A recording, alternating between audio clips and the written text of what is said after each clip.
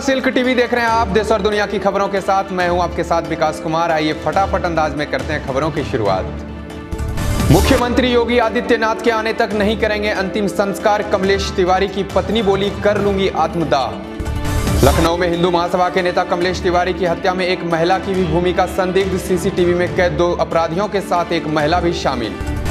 कमलेश तिवारी की हत्या के बाद राजनीति महकमे में भी मची खलबली। विपक्ष ने प्रदेश की कानून व्यवस्था को लेकर योगी सरकार पर उठाई सवाल। हत्या के बाद देर रात पैतृक निवास महमूदाबाद लाया गया कमलेश तिवारी का शव। इस दौरान डिप्टी सीएम दिनेश शर्मा को कमलेश तिवारी के घर में घुसने से लोगों ने रोका।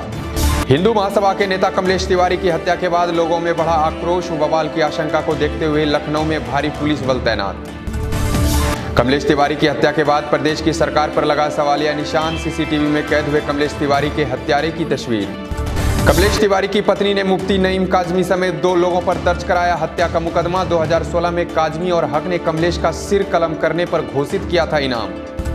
सुप्रीम कोर्ट के प्रधान न्यायाधीश ने बोबड़े को अपना उत्तराधिकारी बनाने की की सिफारिश। न्यायमूर्ति गोगोई 3 अक्टूबर 2018 को देश के 46वें प्रधान न्यायाधीश के तौर पर ली थी शपथ।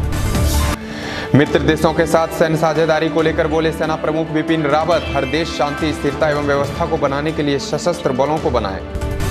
हरियाणा के हिसार में चुनाव प्रचार करने पहुँचे बीजेपी सांसद सनी देओल, जनसभा को भी किया संबोधित, पार्टी के लिए मांगे वोट। दिल्ली विधानसभा अध्यक्ष को बेटे समेत छह महीने की जेल, बिल्डर के घर में जबरन घुसने का था आरोप। शुक्रवार को हरियाणा में चुनावी जनसभा को राहुल गांधी ने किया संबोधित, कहा मोदी को नहीं है इकोनॉमी की समझ। दिल्ली के सीएम अरविंद केजरीवाल ने किया दावा, कहा बीजेपी के सर्वे में दिल्ली में फिर से आपकी सरकार। अमित शाह ने शरद पवार और राहुल गांधी पर साधा निशाना पूछा, आदिवासियों के लिए आपके परिवार ने क्या किया? कांग्रेसी नेता अधीर रंजन चौधरी ने लगाया आरोप, कहा ममता सरकार के खिलाफ पोस्ट करने पर पार्टी प्रवक्ता को किया गिरफ़्तार। हरियाणा में बीजेपी को मिल सकती है 80 से ज़्यादा सीटें, लेकिन लोगों ने खट्टर को बतौर सीएम किया इनकार।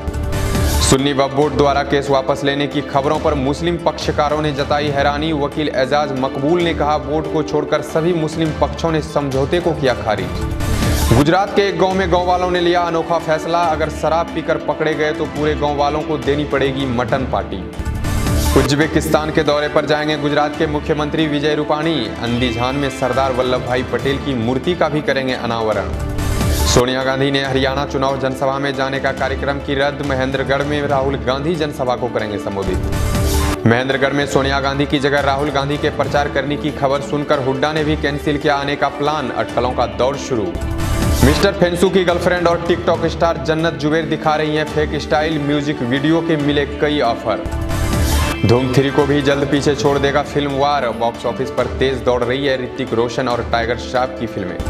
सांसद नुसरत जहाँ ने मनाया करवा चौथ, निखिल ने हाथ पर उर्दू में लिखाया पत्नी का नाम। चेन्नई तमिलनाडु में आज भारी बारिश का अनुमान, केरल में बाढ़ की आशंका, मौसम विभाग ने जारी किया अलर्ट। बहरहाल, इस बुलेटिन में इतना ही, आप बने रहिए सिल्क टीवी के साथ, तब तक के लिए नमस्कार।